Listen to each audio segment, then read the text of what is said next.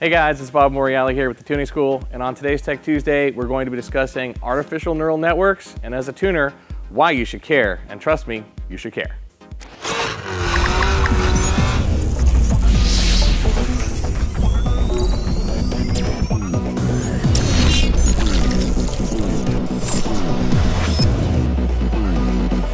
Hey guys, welcome back. So I'm the kind of guy that likes to kind of cut to the chase, and like I talked about in the intro, you should probably cut to the chase, so I'm going to do it. So basically, why do you care about artificial neural networks? Well, they've been around for a couple years already in the Dodges, basically all the way back to somewhere in the 2012 range when they switched to variable cams.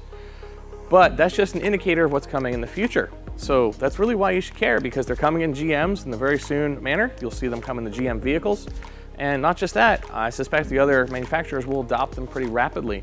So why do I think this? Well, the reason I think this is it's much cheaper for the factory to simply train an artificial neural network how to run an engine than it is for them to pay calibrators for thousands of man hours, tons of time, tons of development time, when they can simply train an artificial neural network to go run that engine.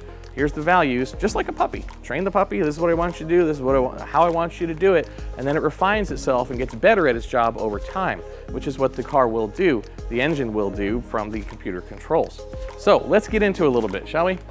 So this is going to be an introduction video into what artificial neural networks are and then how they're currently being used on vehicles and look in the future a little bit. We will not go in deep on how neural networks work. They're extremely complex. We could probably get to that in a future video. So what is an artificial neural network? Well, it is designed to learn and recognize patterns in your data, just like your brain. So the original concept for an artificial neural network came from your brain and my brain. We have like, I believe, hundreds of millions of receptors and all sorts of brain cells, and well, maybe not all of us, but there are brain cells in our brain, and they bounce off each other, and you end up with decisions, and you can see patterns in your data. Well, it was designed to learn and recognize patterns in data, just like your brain, using these things called neurons and cells. So after training an artificial neural network, it can then make predictions by detecting similar patterns. So if, for example, you've taken your car up 5,000 feet in elevation one time, it can see that and go, up, oh, here we go again. This is how we need to tweak this so it'll run better. So it's really cool. Someone actually thought we should put this in a car. Great, no problem. So originally, going back a little history on these things, they were only good for yes, no decision. So back in the 50s and 60s, the computer power wasn't really there for anything more than a, you know, is this color blue? Uh, and really not all that useful. So it was largely unused until the 90s when it really got woken up and some experts started looking at artificial intelligence again and said, hey, wait a minute, wait a minute, we can create this artificial neural network to look for patterns in data because there's always patterns in data, and then we can make decisions based on that. Here's what you need to understand. A neural network is not task-oriented, like tables, like me, like I'm used to programming. If-then statements. It's not looking for an if-then statement. It's not looking for if the mass airflow sensor says this, then I'm going to inject this much fuel. It doesn't operate that way. It's looking for patterns in the data. And so therefore, it is extremely powerful. However, it's really only designed to do one thing at a time. The artificial neural networks today are only designed to learn one subject, but very, very well. And they do this using inputs, and then it bounces it off of neurons, and we'll get into that a little bit later. But the current limitations prevent them from taking over the world, which is good for all of us. So what does that mean? That means that an artificial neural network can be really, really good at predicting something, such as the weather, maybe hurricane directions and things like that. But that same artificial neural network doesn't understand military strategy. If you follow where I'm going with that, that's a good thing. So let's go forward with it. A modern artificial neural network can determine not just if it's a dog or a cat, they've gotten really good now, but they can tell you what kind of a dog or a cat it is.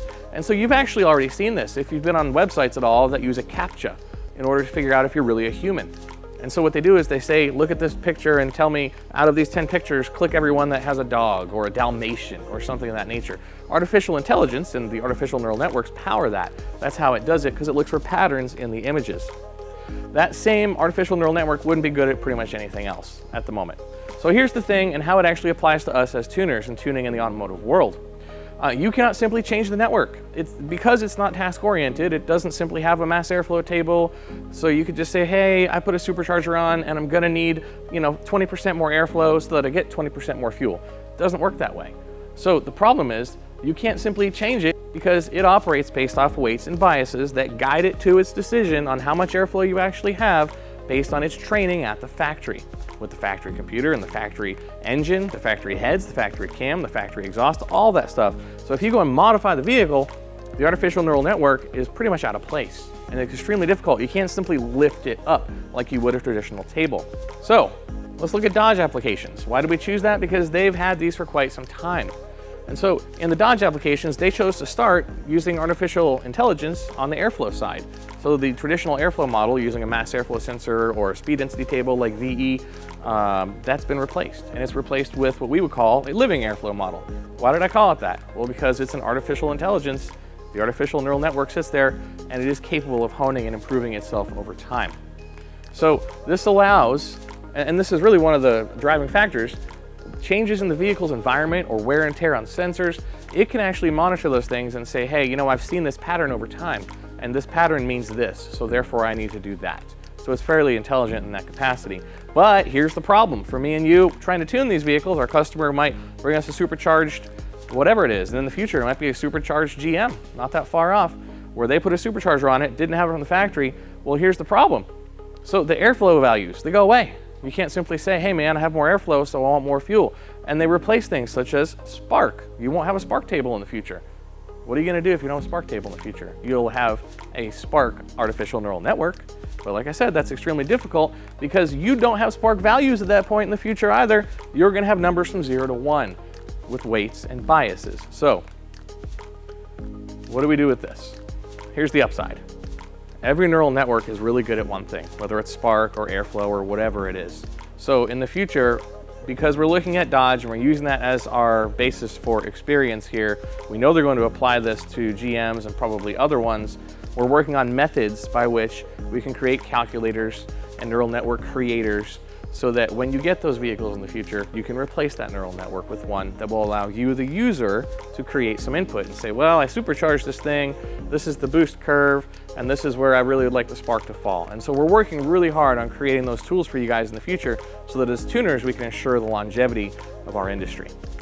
Hey guys, I hope you've enjoyed this video about artificial neural networks. Please leave a comment below and tell us your experience with neural networks if you've done any tuning with them whatsoever.